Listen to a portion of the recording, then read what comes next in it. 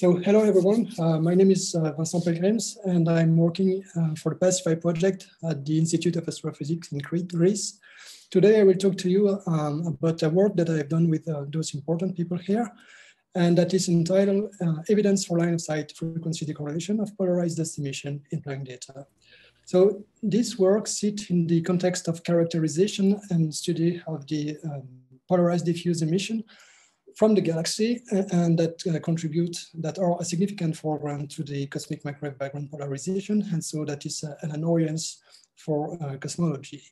As we all know, uh, some properties and, and, matters change from place to place in the galaxy. And so um, there is it is certain in a way that uh, SEDs of dust grains in the galaxy may change from place to place, which would imply that relative contribution of the ISM uh, cloud to polarize emission may vary with, um, with the frequencies. And as a result, if dust SED vary, um, the polarization patterns that can be seen at one frequency, let's say at the frequency where it dominates the signal, cannot be extrapolated as easily as we want uh, to lower frequencies uh, where uh, CMB polarization study uh, would be performed.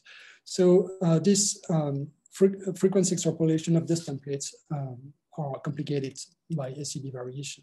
And we know since the end of the last century that SED variation vary across the sky. And this can be uh, well um, illustrated by those full sky map from the Planck satellite, where we see the temperature and the um, spectral index of the dust emission yeah, and since we are not sitting in a particular place in our galaxy, it's quite evident that since there is SED variation across the sky, there will be uh, SED variation along the line of sight. So line of sight frequency decorrelation from dust cloud has been studied and demonstrated in this paper in 2015, but yet there were no observational evidence of this effect, suggesting eventually that the, this effect is weak um, in, in short, the phenomenology of the line of sight frequency decorrelation goes as follows.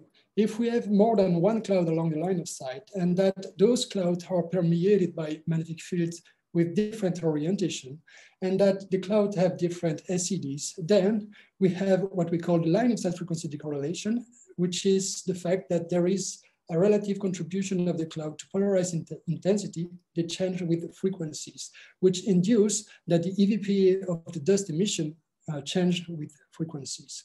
To look for the effect, what we did is to uh, first use results from starlight polarization studies, uh, the work that um, Brandon uh, showed earlier, where we have, uh, thanks to Gina and collaborators, we know uh, in this particular region of the sky, the, the, orange one here, that we have two clouds with magnetic fields having um, a different orientation, orientation by 60 degrees in both clouds.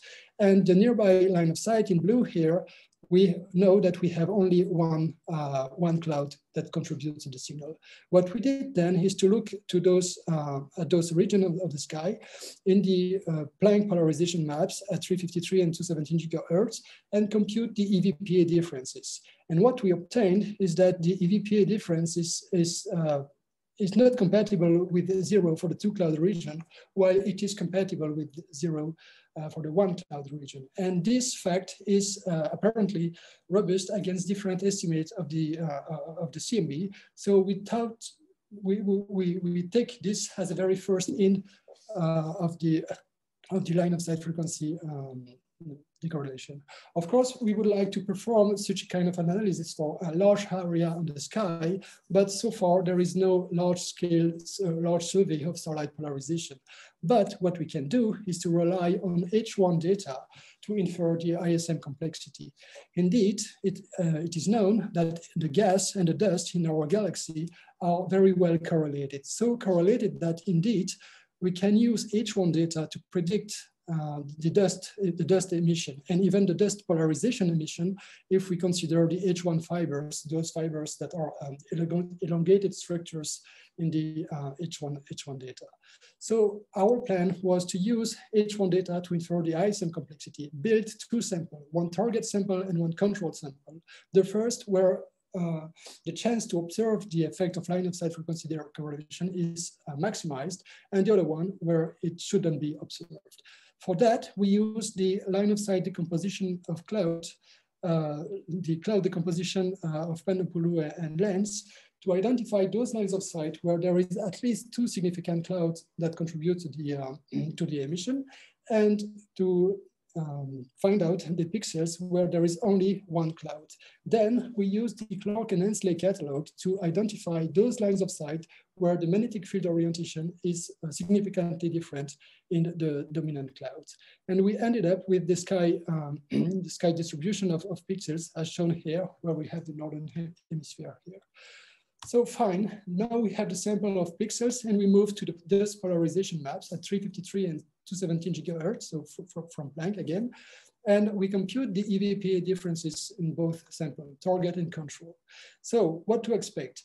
Well, in a sample, lines of sight frequency decorrelation would produce a scatter in the EVPA differences, a scatter that wouldn't be observed if the signal isn't there. And what we got is the following. We got those histograms of EVPA differences for the target sample in orange and for the uh, control sample in blue. And as you can see, the scatter in the histogram, the orange histogram is larger.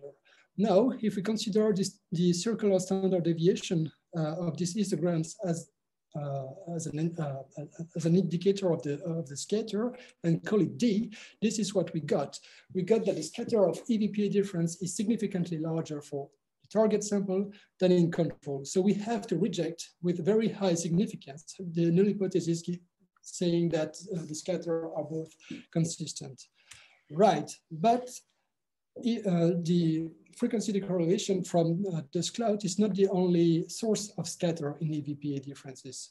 There is also the decorrelation from CMB and dust, but we should have accounted for, for it uh, since we are removing CMB estimates uh, from the frequency map. There is the other point is that uh, the noise in the polarization data might be different in target and control. And it, indeed, it is different since the target sample is uh, more depolarized than uh, control sample. So the whole point was to find out whether the amplitude of the SED variation is high enough so that it produces an excess in the scatter, in an excess uh, with respect to what the noise produces. And to address this, this uh, question, we produce mock sample from the control sample so that all mock sample um, uh, have noise properties that match the noise property found, find, found in, in the target sample. Three so, more minutes. Yes, and we did so and obtained this uh, kind of uh, plot where we can see that the null hypothesis that says that the excess of scatter and target is consistent with noise or data needs to be uh, rejected. And this rejection actually is uh, robust against different CMB estimate, different, um, uh, as can be seen here. So we have the different CMB estimate from uh, the Planck collaboration, but also from different handling of the residual systematics. So the third Planck release and a new map making um, maps of, of uh, full sky map, but also that our results are robust against uh, the specifics in our analysis, such as the uh, specific in pixel selection, also the choice in spread estimator. So we were pretty confident uh, to say that uh, this is the first observational evidence for the line of sight frequency decorrelation of polarized dust emission. And what makes us even more confident is that uh, we have found all phenomenological expectation of the effects. For example, if the, we expect, for example, if the magnetic field the angle between the magnetic orientation increase, we expect a decrease of the um, degree, degree of polarization, which we do observe, and a systematic increase of the amplitude of the, the um, uh, of the signal, so an increase of D, which we do observe as it can be seen on these plots. So as a conclusion, we have proven that line of sight frequency decorrelation of polarized dust emission is measurable toward complex line of sight in the noisy Planck data.